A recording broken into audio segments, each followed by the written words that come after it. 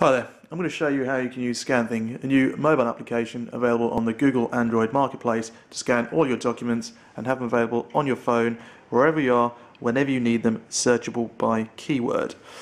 So this is a ScanThing application and this is my dashboard with all the documents I've scanned and various tags I've associated with those documents.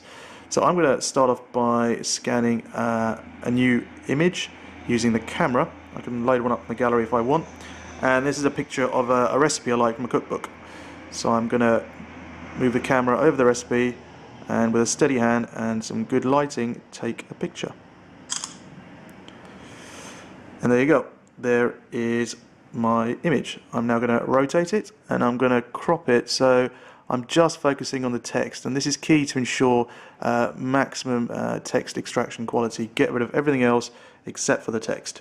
If I click on next that's there you go. There's my recipe. I'm going to click on the eye icon to start the text extraction process. So you can see it started.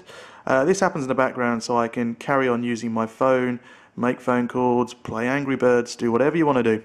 Um, I'm actually going to uh, while I'm waiting associate this document with food.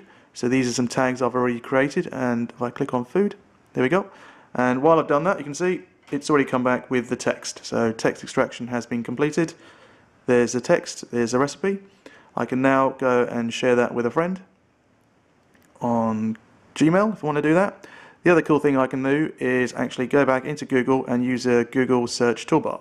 So if I click on the G icon, you can see I can skirt search through ScanThing.